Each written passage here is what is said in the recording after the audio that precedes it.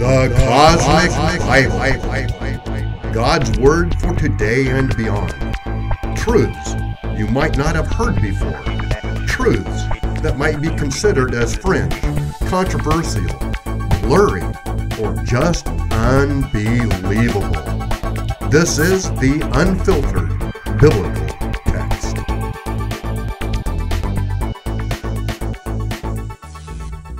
Hello, and welcome to the Cosmic Bible, God's Word for today and beyond. I am Dr. S.W. Kibler here at Dr. S.W. Kibler Ministries. Please remember to like and follow the Cosmic Bible, God's Word for today and beyond. And thank you so much to those who support this ministry financially and through prayer. At the end of this video, there is a screen that provides information on how to support us.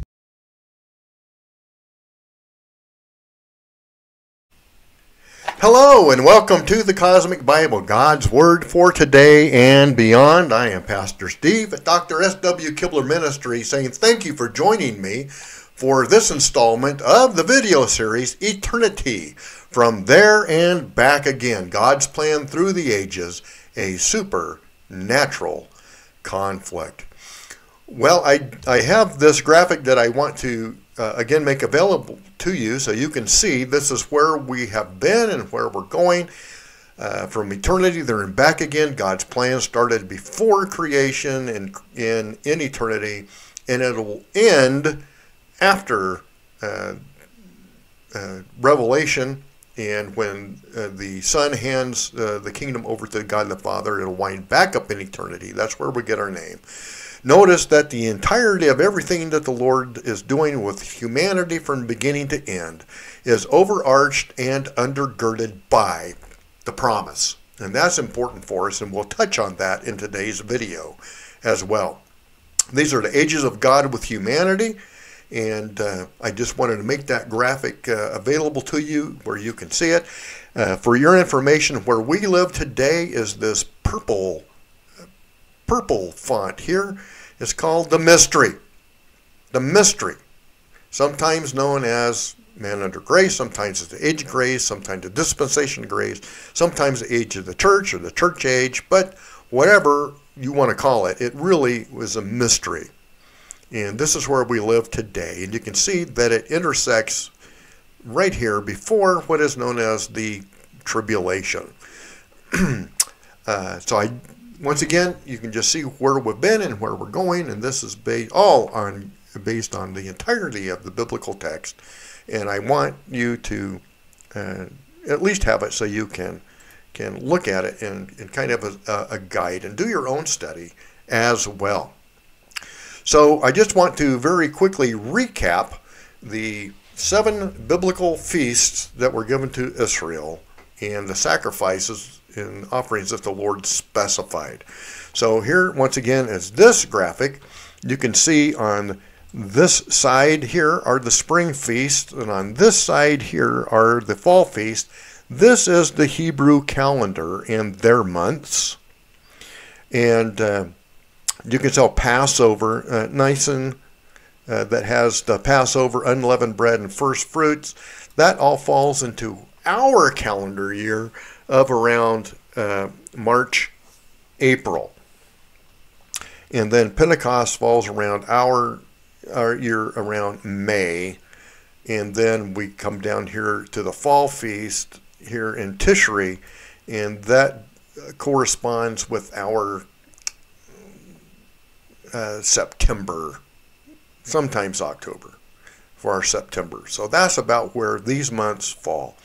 You can see there's the Passover, uh, unleavened bread, first fruits, Shavuot, uh, Pentecost, uh, Rosh Hashanah, trumpets, Yom Kippur, atonement, and then Sukkot, uh, tabernacles or booths. And we review these feasts because they all point to Yeshua, Jesus Christ. As we looked, we just did a series on the seven feasts and how they all point to the promise and how Yeshua, Jesus Christ, uh, fulfilled each of the feasts during his earthly ministry. Not only were they given by the pre-incarnate Yeshua, uh, Yahweh Elohim in the Old Testament. He implemented them. He's also the one who fulfilled them and their prophetic, uh, the prophetic uh, components of these feasts, and also the sacrifices and offerings that needed to take place. So if you haven't yet looked at those videos, there, uh, there are two videos that go through these seven feasts, the seven feasts of biblical feasts of Israel, part one and part two. And then there are three other videos, four other videos that go in a little bit more detail on some of the feasts and their application for us today that we need to understand. So the sacrifices and the offerings uh, of, that were under the law, they never granted permanent or complete forgiveness for sin. It was uh, only partial. And we're going to take a look at the five types of sacrifices very, very briefly. The the five uh, offerings that are given. And this is just uh, a design by R.K. Campbell, and I find it very helpful. Uh, during the feast, you'll see that, uh, and also there were offerings that were brought uh, voluntarily uh, to the temple, to the priest on behalf of individuals as well.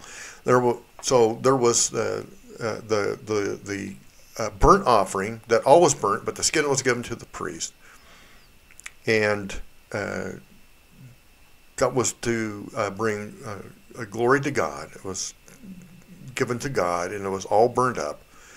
And then there was the meal offering, which speaks of mankind and bringing what the Lord has provided to him, uh, provided to mankind. It was given back to the Lord as a as a meal offering. There's a peace offering. Uh, that uh, entails fellowship with the Lord. Then there was the sin offering uh, and the guilt offering that was made, and these are these are sacrifices. One, number one, here the burnt offering, uh, peace offering, the sin offering, and the trespass offering all required the death of an animal, right? And we see that Christ fulfilled uh, all of these. That he uh, his complete death brought peace between man and God, the forgiveness of sin, and uh, then the atonement uh, aspect of, of his uh, sacrifice on the cross, and then how we come with thanksgiving uh, back to the Lord. So this is just, I, like I said, I just wanted you to see these are the offerings and the sacrifices that were required to take place during uh, the seventh feast of uh, biblical feast of Israel, but also uh, uh, some of them were brought volu- voluntary uh, by individuals uh, for their for their own sake uh, to the Lord. So we just review these feasts and these sacrifices uh, because they all point to Yeshua, to Yah- uh, Yahweh Elohim, to the death, burial, and resurrection of Jesus Christ and these were under the law. And what we need to realize is that there's an important connection between the law and promise in what What Yeshua did and why he did it is connected to the law and the promise. And it's not connected to what we call the church. It's connected to what the Lord said he was already going to do. And it involves the children of Israel and it involves um, the law and the promise. So, we're going to touch on that a little bit more in depth in just a minute. What we do want to uh, read about here in the Apostle Paul uh, wrote in Galatians that the law was to show the need for the promise and to lead those people under the law to the promise, the seed, who is the Savior, Yeshua, Jesus Christ. Primarily, all of these offerings and sacrifices, because they were not permanent in their capacity to forgive sin, it was just by the obedience of the individuals in their own heart before the Lord that there was a covering of the sin that was granted as long as they did what they were told to do with these these offerings and these sacrifices. But it wasn't permanent. Permanent forgiveness of sin and eternal life only came through Yeshua, Jesus Christ, God Himself in the flesh, his death, burial, resurrection, and then his glorification, his ascension to heavens, only through him. But the feasts and the the uh, uh offerings and the sacrifices were to show man's need for the promise for the Savior. We read this in Galatians 3:24. Therefore the law was our tutor to bring us to Christ that we might be justified by faith. So it's often difficult for today's Christians to understand that Yeshua, Jesus Christ, did not do away with the law. He did not do away with the law. He fulfilled the law. And there is a great difference between the two. He didn't do away with it, he just fulfilled it because it was prophetic about him and what he was going to do as Yeshua on earth. His birth, presented as king, his crucifixion, his burial, his resurrection to life, and his ascension to heaven was all prophesied in these feasts and also in the sacrifices and the offerings that were under the law. This age in which we live is not under the law. But as the Apostle Paul proclaims, is the stewardship of God's grace, and it was a mystery hidden.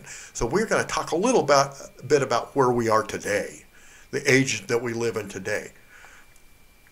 Uh, so we're going to look at Ephesians uh, chapter 3, verses 1 through 12. And we read this Ephesians 3 1 through 12. For this reason, I, Paul, a prisoner of Christ Jesus, on behalf of you Gentiles, assuming that you have heard of the stewardship of God's grace, which was given to me for you.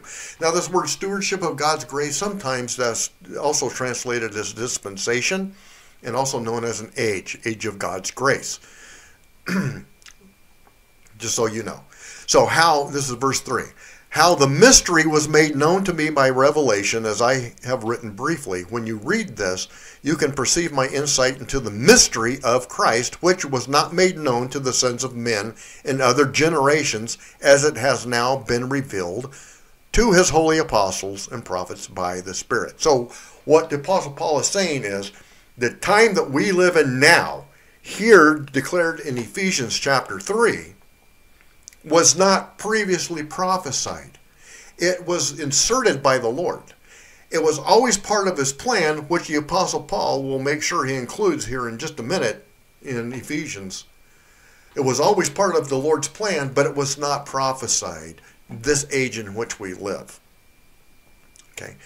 And he says, uh, this mystery is that the Gentiles. Now, what is a Gentile? A Gentile is anyone who is not a descendant of Jacob, Israel. Abraham, Isaac, Jacob, Israel.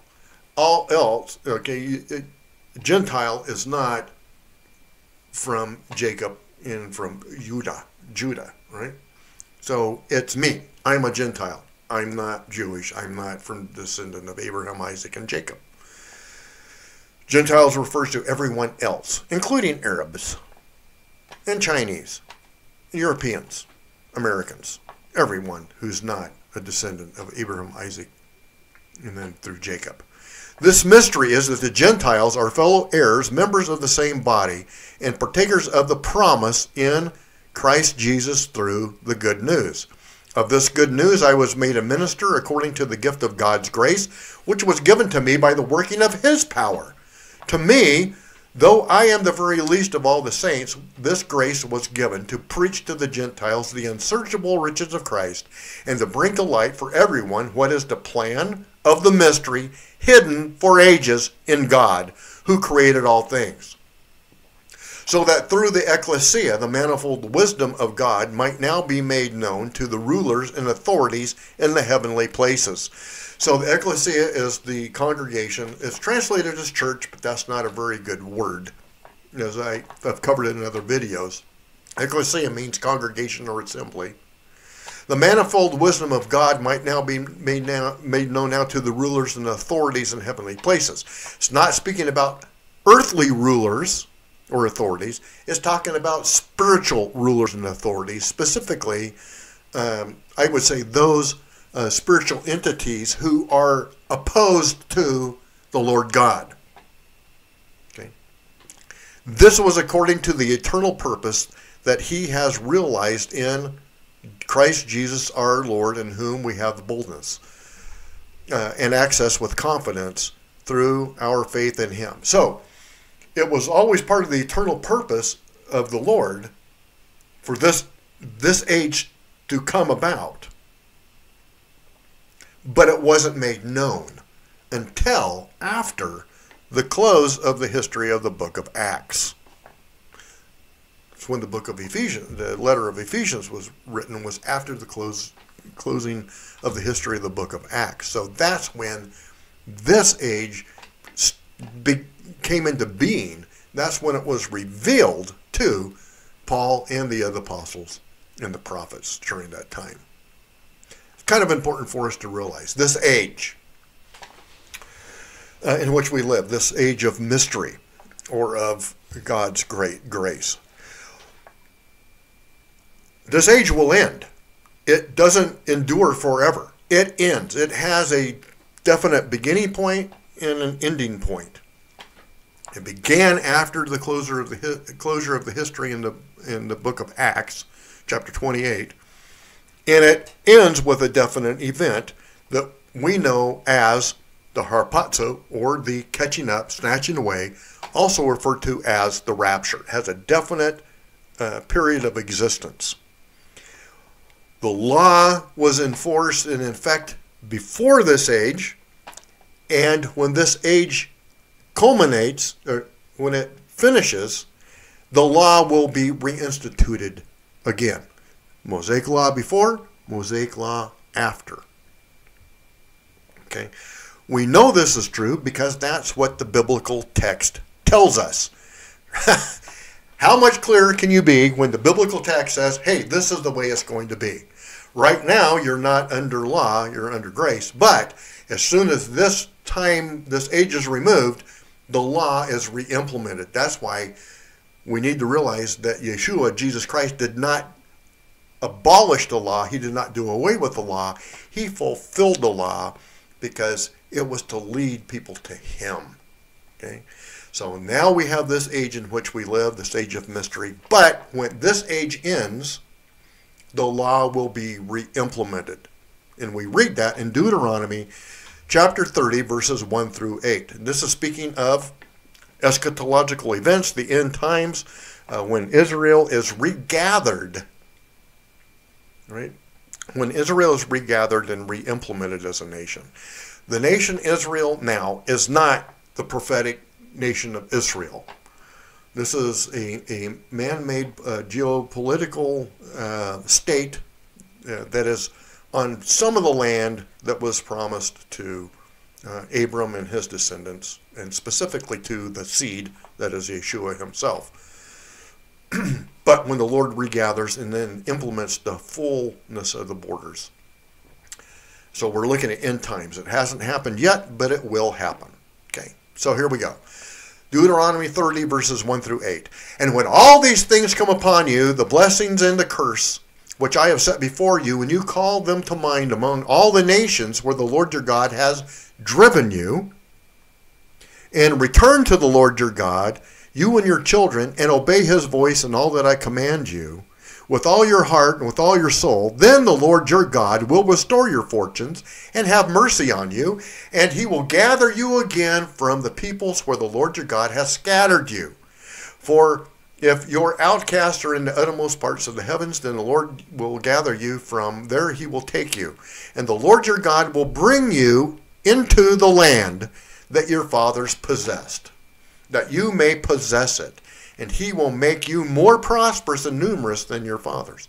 And the Lord your God will circumcise your heart and the heart of your offspring, so that you will love the Lord your God with all your heart and with all your soul, that you may live. It's very clear, very evident that the Lord is speaking here to a specific group of people, isn't it? The children of Israel, those who come to uh, a, believe in Him and faith in Him those descendants. Not all descendants, but those who believe in him. Right? those of the descendants of Jacob, of Israel. So it's very specific who's being spoken of here the nation Israel that the Lord will gather together. And that he will circumcise their heart. We read this other places, that he will put his law in their in their heart. We're not under the law now. So that's not speaking to us. It's speaking to a future generation where the law will be put uh, in their heart. So the Lord will circumcise your heart uh, in the heart of your offspring so that you will love the Lord your God with all your heart, with all your soul, that you may live. And the Lord your God will put all these curses on your foes and enemies who persecute you. And you shall again obey the voice of the Lord and keep all his commandments that I command you today. So, this is Moses, the Lord, speaking through Moses. And we look at the law of Moses and all of the commandments that the Lord had given to the people through Moses. This is Deuteronomy, and this is a regiving of the law. Verse 8, here, uh, verse 8 of chapter 30 of Deuteronomy tells us that in that future time, still yet to come from our point now, is still future from here. But when he regathers them, that the law will be re-implemented and that they will keep all his commandments that he had commanded up to this point uh, in Deuteronomy, up to this day. So that includes all of the law of Moses. It will be re-implemented and they will keep all the commandments. So it's very clear that the law will be re-implemented after this age in which we live is concluded. This is also why we read in the, the, the book of Daniel, chapter 9, that in the end times, still future for us today, uh, will be an end to the sacrifices and offerings. So, how can sacrifices and offerings be ended if they're not restarted? When we know that uh, Daniel chapter 9, when it's saying this, is looking to the future at what is called the Great Tribulation. So it's still future from us. But in the tribulation, what we know as the tribulation, the time of Jacob's trouble, that the offerings and sacrifices will be stopped. They can't be stopped if they are not restarted again, right? So Daniel chapter 9, verse 24 through 27. Seventy weeks are decreed about your people and your holy city to finish the transgression, to put an end to sin, and to atone for iniquity, to bring in everlasting righteousness, to seal both vision and prophet, and to anoint the most holy place. Know therefore and understand that from the going out of the word to restore and build uh, Jerusalem to the coming of the of an anointed one, a prince, there will be seven weeks. Then for sixty-two weeks it shall be built again with square and moat, but in troubled times. After the 62 weeks, an anointed one will be cut off. So there's seven weeks left now. Uh, that's still going to be future. We're in between. Uh, we're in between the week 79 and the 70th week in this prophecy. This is where our age fits in to God's timing we sit in between the 69th week of the prophet uh, prophecy here in Daniel 9 and the 70th week, that one week, which is known as the Great Tribulation. Okay? So after the 62 weeks, the anointed one will be cut off. Yeshua was cut off. He was rejected by Israel. And now this mystery has been put in place that we live in this time, this piece of God's grace, this age of God's grace. When it ends, the seventh week begins. That's prophesied here. And the people of the prince who is to come shall destroy the city and the sanctuary. Its end shall come with a flood, and the end there shall be a war. Desolations are decreed, and he shall make a strong covenant with the many for one week. And for half of the week he shall put an end to sacrifice and offering. So he'll make a, a covenant, a, a peace treaty, so uh, for seven years, but halfway in, after three and a half years, after a week and a half, so three and a half years, he will put an end to the sacrifice and offering. So if there's an end to put to the sacrifice and offering, that means it has to start somewhere. So it has to start at the beginning of the seven year covenant, at least, right? At least it has to start there, if not before. But after three and a half years into this this seven year covenant, uh, it, the covenant is broken, and this uh, this one to come, who's also known as the Antichrist, will put an end to the sacrifice and offering.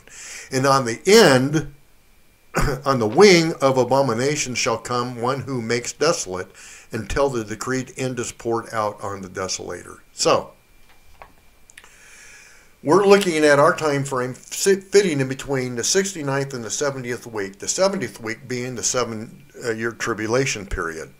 So, when this age in which we live comes to a conclusion, is removed, then the 70 week takes over. And we see that there's offerings and sacrifices, which again is not, uh, more evidence that the law will be re implemented after this age in which we live. Okay. Um, the book of Acts does not record the beginning of the ecclesia. I've covered that in other videos. I don't want to go into depth here. It's not the beginning of the church, what we know as the church, ecclesia. And even that word uh, church is a really a bad translation. It's a, it's, a, it's a wrong translation. It's a wrong word to use to translate ecclesia, which means, ecclesia in the Greek means congregation and assembly. So it's those assembly or congregation of, of the Lord. That's who it's speaking about, the people. Um, and that's important for us to understand uh, because we think too highly of what we call the church. And where we are today was not so important because it wasn't even included in prophecy. Right? It's part of the Lord's plan, but it wasn't prophesied that was going to happen. And so it, it it's just kind of where we are. And uh, we talked about the Feast of Shavuot that's recorded in the book of Acts, and that was about the giving of the law and how Yeshua was the completion of the law. Just read the preachings of, of Peter in the first couple of chapters, first three chapters, and it becomes very evident of what is taking place. But what we have to understand is is the concept of ecclesia, which is the word in the Greek used in the New Testament that's translated as church. But the ecclesia did not begin in the New Testament. The ecclesia is a continuation of what was started from the very beginning that's recorded in the Old Testament. It's the congregation or the, the assembly of the people of the Lord. That's important for us to realize to understand the ecclesia has existed even in the the the uh, Greek translation of the Hebrew Old Testament, um, the Septuagint. They use the Greek word ecclesia to translate the Hebrew word for assembly and congregation. It's very evident of what is being spoken of. It's not something that just occurred in the New Testament, right? It's uh, it has been since there was one person who believed God. One person who believed God in the promise, about the promise, they become the first person to be a member of the ecclesia, of the congregation, of the assembly of God. And it has built since then. We're talking about from the very beginning, the very first person who ever believed God, believed in God. Okay? Um, might have been Adam. I don't know but the very first one who believed in God and placed their faith in Him concerning the promise. That's the beginning of the ecclesia. There is so much talk today in Christendom about the end of the world, especially after this latest event of the uh, uh, solar eclipse, and how many even Christian preachers were saying this could be a sign from the Lord. Well, it, it, it was a sign that the Lord has placed the stars and the planets, the sun and the moon, into a fixed path that can be predicted mathematically when these events are going to take place. It shows God is precise. and he placed the patterns of the movement of the stars, the constellations, the sun and the moon and the earth and the planets. He put them in their orbits and in their paths. It does declare the awesomeness of God, but it's not declaring his judgment or end times. But there's always talk about the end times, right? Uh, the end of the world. Uh, people watching for the rapture. And most today we hear about the rapture of the church. Well, once again, we have to go back to ecclesia.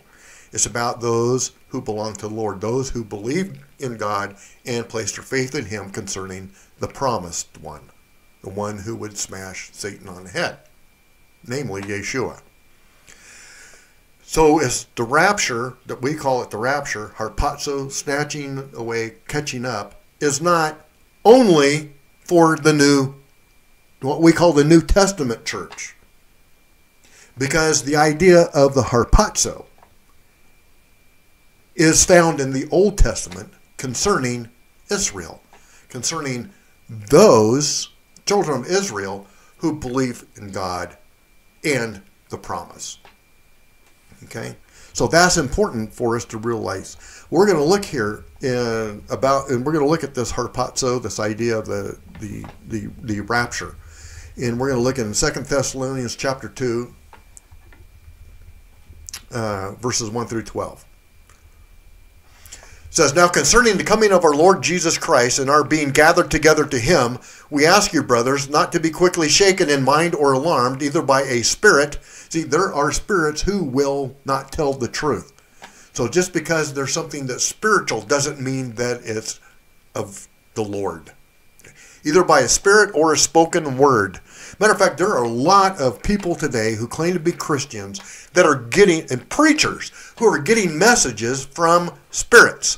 They claim they're getting messages from spirits. They call them angels. Let me tell you what.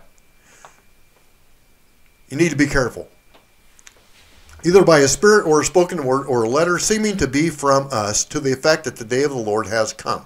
Let no one deceive you in any way, for that day will not come unless the rebellion comes first and the man of lawlessness is revealed, the son of destruction. This is the one who's referred to in the prophecy of Daniel, who uh, uh, breaks that covenant after three and a half years is also known to us the term called the Antichrist, this world leader. This is who's being spoken of here. The man of lawlessness, until he's revealed the son of destruction, who opposes and exalts himself against ever so every so-called God or object of worship. He elevates himself to be God. That's important. He elevates himself to be God.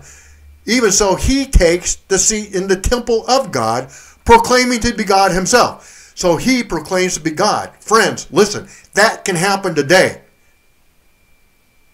This opponent, this opponent can be giving messages as though it is from God. Because he will exalt himself and claim to be God. Now, God is just a title. It's not, it's not a personal name of Yahweh Elohim, the Most High God, the Creator God but he will proclaim himself to be God. Do you not remember that when I was still with you, I told you these things? And you know what is restraining him now, so that he may be revealed in his time.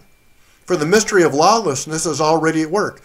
Only he who restrains it will do so until he is out of the way. And then the lawless one will be revealed, whom the Lord Jesus will kill with the breath of his mouth and bring to nothing by the appearance of his coming. So here's what the biblical text is telling us now is the mystery of lawlessness is already at work, so we need to be diligent and pray for discernment because the mystery of lawlessness is already out there.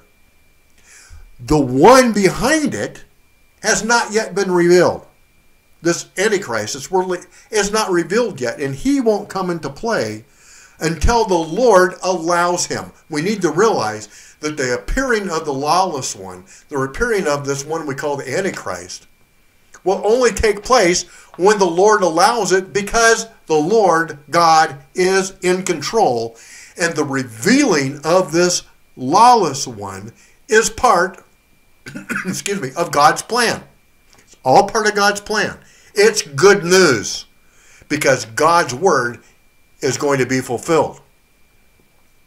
And then the lawlessness will, lawless one will be revealed, whom the Lord Jesus will kill with the breath of his mouth and bring to nothing by the appearance of his coming. The coming of the lawless one is by the activity of Satan, with all power and false signs and wonders, and with all wicked deception for those who are perishing. Listen, we're moving into a time when there is a prevalence of signs and wonders uh, taking place within what's called Christendom. And we need to heed a warning from Scripture that the signs and wonders most likely are going to be false because there's no prophecy about God's sign and wonders during this time. The signs and wonders that are going to take place next from the Lord, as far as I can read the biblical text, happen during the time of the tribulation. And those signs and wonders are terrible. They're terrible. They're terrifying. So we need to be careful. We need to be diligent. We need to know the truth and stand on the truth and not be deceived. Here's why. It says, and with all wicked deception for those who are perishing because they refuse the love of the truth and, and so be saved. Therefore, God sends them a strong delusion that they may believe what is false. Friends, we are talking about those who are religious. There will be a delusion. They will believe, listen, they will believe that these signs and wonders are from Yahweh Elohim when in fact they are not. They are from his adversary, Satan himself. The activity of Satan with all power and false signs and wonders. See, this is why we look at this eternity from eternity, right? God's plan through the ages, a supernatural conflict. Because there is a supernatural conflict that's taking place today in our very existence. And part of that supernatural conflict is that the enemy falsifies signs and wonders. You need to be discerning. Who is causing these signs and wonders to take place. very imperative. We are living in this time when these delusions are beginning to take place. It's evident. Just look at the state of Christianity compared to what God's Word says to what now is being accepted into churches that call themselves Christian It says, with all wicked deception for those who are perishing because they refuse to love the truth. They hold on to ritual, tradition instead of truth, and they bring in from the world to make acceptable what God, the Lord God, says is abominable, and they call it worship and they call it Christianity. It is a strong delusion that we need to be prepared to recognize infiltrating the church. The reason, in order that they may all be condemned who did not believe the truth, but had pleasure in unrighteousness. Now we're going to look at 1 Thessalonians 4 13 through 18. But we do not want you to be uninformed, brothers, about those who are asleep, that you may not grieve as others do who have no hope. For since we believe that Jesus died and rose again, even so, through Jesus, God will bring with him those who have fallen asleep, i.e., died. For this we declare to you by the word from the Lord, that we who are alive, who are left until the coming of the Lord, will not precede those who have died in the Lord. For the Lord himself will descend from heaven with a cry of command, with the voice of an archangel, and with the sound of the trumpet of God, and the dead in Christ will rise first. Then we who are alive and are left, believers, in Yeshua, in the promise, will be caught up together with them in the clouds to meet the Lord in the air. And so we all will always be with the Lord. Therefore, encourage one another with these words. Now we're going to add another verse to this out of the Gospel of John. And this is John 14, 1 through 6. Let not your hearts be troubled. Believe in God, believe also in me. In my Father's house are many rooms or dwelling places. If it were not so, would I have told you that I go to prepare a place for you? And if I go to prepare a place for you, I will come again and take you to myself, that where I am, you may also be. And you know the way where I'm going. Thomas said to him, Lord, we do not know where you are going. How can we know the way? Jesus said to him, I am the way, and the truth, and the life. No one comes to the Father except through me. So I mentioned before, it's a common uh, assumption by many Christians, Bible teachers, preachers, and so forth that this this reality, this concept of the harpazo, the catching up, the snatching away, also known as the rapture, and the dwelling places in heaven are for uh, dwelling places in, in heaven are for believers in a New Testament concept, but they are not. It's not about the New Testament concept. It's not about the New Testament, what we call the New Testament church. This is Old Testament, and it was revealed to those who were under the law. This is important for us to realize that this idea, this reality of the harpazo in dwelling with the Lord, uh, is Old Testament because the ecclesia, the congregation, the assembly of the Lord, is not New Testament only. We are grafted in, we are brought into it. But it began long, long ago. So we read clearly, we're going to go to the prophet Isaiah in chapter 26, verses 19 through 21. And in this section of the prophet Isaiah, the Lord is revealing to him things in the future what we call eschatology, looking at the future, what we call end times. Okay? Still future to us. It was future when it was given uh, to Israel through the prophet Isaiah, and it's still future to us today who live in this age, uh, today, this age of mystery or the stewardship of God's grace. It's still future from us. It's end times. But here's what it says in Isaiah chapter 26, verses 19 through 21. Your dead shall live. What did we just read in 1 Thessalonians? The dead in Christ will rise first. It says, Their bodies shall rise. You who dwell in the dust, awake and sing for joy. For your dew is a dew of light, and the earth will give birth to the dead. Come, my people, enter your chambers, your dwelling places. Shut your doors behind you, hide yourselves for a little while until the fury has passed by. For behold, the Lord is coming out from his place to punish the inhabitants of the earth for their iniquity. And the earth will disclose the blood shed on it and will no more cover its slain. And then the next verse is chapter in order. Here is number uh, chapter 27, verse 1. It says, In that day, so your dead will rise, they'll be resurrected. You're to go to your dwelling place, your chamber, for a while until the fury of the Lord passes, because the Lord is coming to pass judgment on the iniquity of the inhabitants of earth. That's speaking of the tribulation.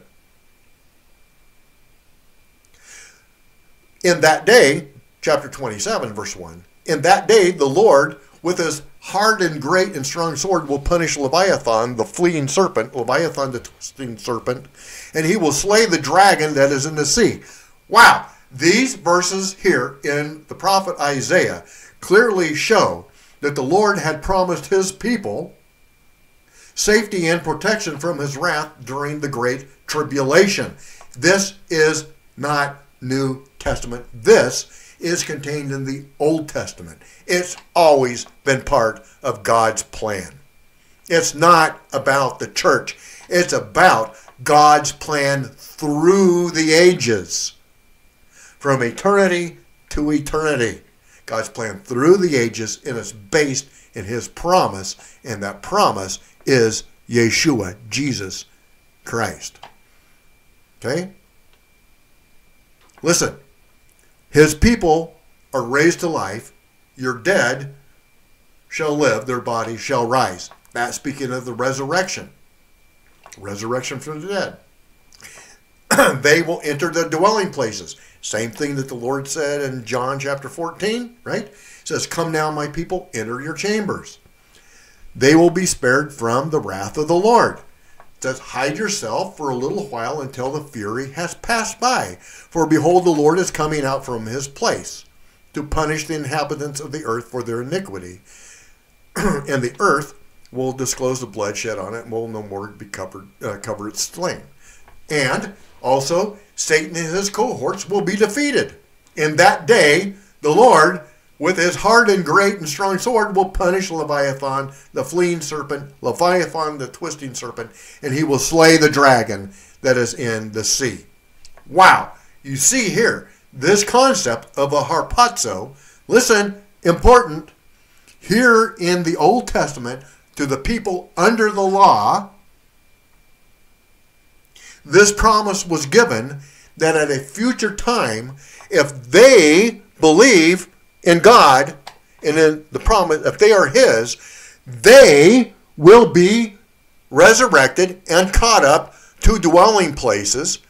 Exactly what Yeshua said in the Gospel of John, chapter 14, exactly what the Apostle Paul was writing in First Thessalonians. It's exactly the same thing and it is pre tribulation. Huh, that's so important because they are caught up and put in the dwelling places for a little while because the Lord is coming, right? They're, they're placed in the dwelling places for a little while until after the fury of the Lord because the Lord is coming to judge the iniquity, right? To bring his wrath on the iniquity of humanity on the earth. That is a pre tribulation harpazo catching up of the people of God that includes includes believers of the Old Testament times. It's what the biblical text says. Friends, this is phenomenal. This is God's plan through the ages. This is why I believe the promise perspective concerning the biblical text is so imperative. We we are included in the promises made to Abraham, made to Adam, made to Eve, made to Isaac, Jacob, his descendants. Yeshua, Jesus Christ, is the promise. He is the promise. He is the one who will crush the serpent on the head. He's the one who is referred to here in Isaiah uh, 26. He's the one referred to throughout Scripture. He is the promise. The Lord made the promise. We read this in Genesis 3:15. I will put enmity between you and the woman, between your offspring and her offspring. He shall bruise your head, and you shall bruise his heel. You see, what's sometimes missed here is the Lord is speaking to Satan. He's making a promise to Satan.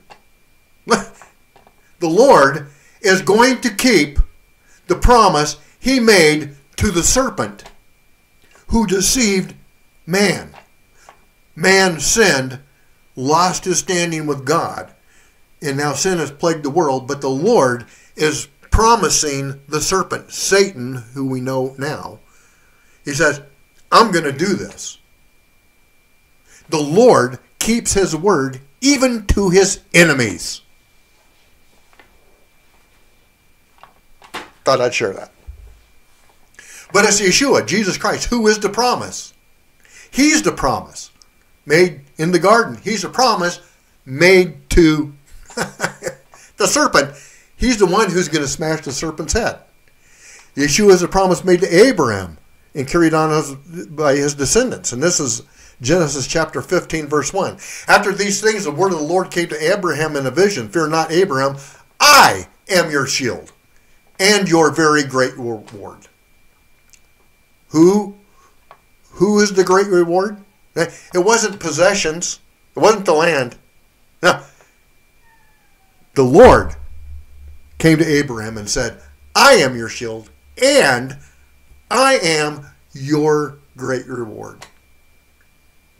And then it says, and Abram believed in the Lord, and it was counted to him as righteousness. and then further on in uh, chapter 15 of Genesis, verse 18, says, On that day the Lord made a covenant with Abram, saying, To your offspring I give this land from the river Egypt to the great river Euphrates, the land of the Kenites, Kenizzites, Cadmonites, Hittites, uh, uh, Perizzites, uh, Rephaim, uh, Amorites, Canaanites, Girgashites, and Jebusites. Whew. Who's the offspring? Well, oh, here, this is Isaiah 26. I, I missed that slide. This is Isaiah 26, 19 through 21. You can read it for yourself. I'll leave it here for just a minute. If you want, you can pause the video and you can read it. Okay, here we go. The law and the promise, Galatians 5, uh, 3, 15 through 16. This is the Apostle Paul writing. To give a human example, brothers, even when a man-made covenant, no one with a man-made covenant, no one annuls it or adds to it once it has been ratified. Now the promises were made to Abram and to his offspring. It does not say to offsprings, that is plural, referring to many, but referring to one. Offspring refers to one. And to your offspring, who is Christ. There we go. The offspring referred to in the promise is none other than the Lord Himself. Yeshua Mashiach, right? Jesus the Christ. He is the promise. Therefore, anything that we have today in Yeshua is by virtue of the promise made years and years and years and years previous, starting in the Garden of Eden. Carried on to Abram, because the promise is actually Yeshua, Jesus Christ. That's why we looked at the seven biblical covenants. We looked at the sacrifice and the offerings because they all point to Jesus. They all point to Yeshua. They were prophetically fulfilled by Yeshua. He fulfilled the law. He fulfilled it. We need to realize and grasp that our hope is not in someone or something new, and it's not in the church. It's in nothing else other than Yahweh Elohim himself, the Lord God himself, Yeshua, Jesus Christ. That's who our hope is in. It, only him. It's, he's the promise. He's not just the promised one, he is the promise. Both to the Jew and to the Gentile. And it was he who promised to the Jew in the Old Testament that they would be raised from the dead and caught up to the dwelling places to be safe from the judgment of Yahweh during the Great Tribulation. And it was to them that the Savior and Messiah was promised. And today, we are taught how blind the Jews were and how they were caught up in their legalism and caught up in their religion and caught up in their rituals and caught up in their uh, traditions of the law. But we need to realize that today, Christendom today is in the same shape and doing exactly the same things that we condemn the Jews of doing, of missing the truth. Because we worship often the church. We elevate what we call the church and its rituals and its traditions and even its legalism. And when we do that, we miss the truth of the biblical text because we start interpreting the biblical text according to our rituals and our traditions and our own legalism instead of taking the biblical text at word for word, point for point, for what it says. We need to take God's word to heart and realize that the church today, Christianity today, this age, is failing and it will fail. There is no church triumphant. There is a church that fails because it is told us this in Revelation chapter 3, verses 14 through 22. And to the angel of the ecclesia in Laodicea, write the words of the Amen, the faithful and the true witness, the beginning of God's creation. I know your works. You are neither hot nor uh, cold nor hot. Would you that you were either cold or hot? So because you are lukewarm and neither hot nor cold, I will vomit you out of my mouth. This is the Lord speaking about that. Now, it's commonly understood that the letter to the church of Laodicea, Laodicea is called the church of the last days or end times, where we live today. To us today. So because you today are lukewarm and neither hot nor cold, I will vomit you out of my mouth. For you say, I am rich, I have prospered, and I need nothing, not realizing that you, today, where we live today, Christendom today, you are wretched, pitiable, poor, blind, and naked. I counsel you to buy from me, from the Lord, gold refined by fire, so that you may be rich, and white garments, so that you may clothe yourself and the shame of your nakedness may not be seen, and salve to anoint your eyes, that you may see. Those whom I love, I reprove and discipline. So be zealous and repent. Today. This is for us today. This is how we need to see Christendom today. Through the eyes of God and His Word. This is what He sees of us today.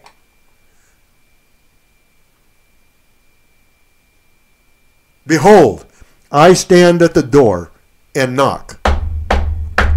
If anyone hears my voice and opens the door, I will come into him and eat with him, and he with me.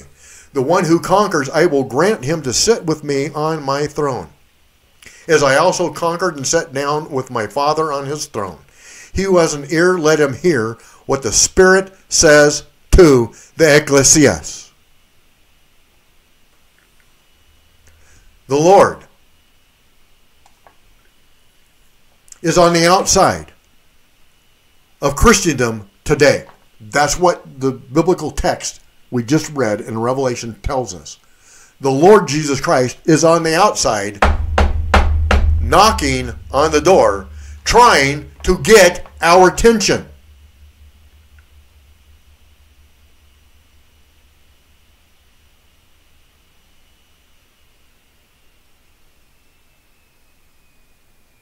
Are we going to listen? Do we have an ear? Are we going to hear what the Lord is saying to us? Thank you for joining me for this this uh, video. And I want to remind you this always know the truth, always stand on the truth, and always speak the truth. God bless you.